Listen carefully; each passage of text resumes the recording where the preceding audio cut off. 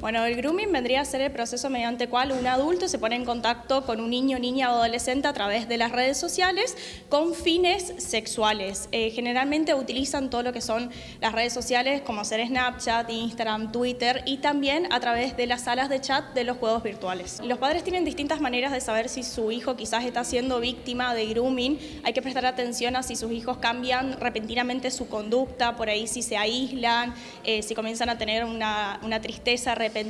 o quizás si comienzan a saber, eh, a tener conocimientos avanzados para su edad sobre determinadas actividades sexuales. Puede inclusive que no solo sean víctimas de grooming, sino también de cualquier otro tipo de ciberdelito, como por ejemplo el ciberbullying. Lo más importante es que eh, si sos víctima de grooming, lo cuentes a quien sea, a tu mamá, a tu papá, a un familiar, un amigo,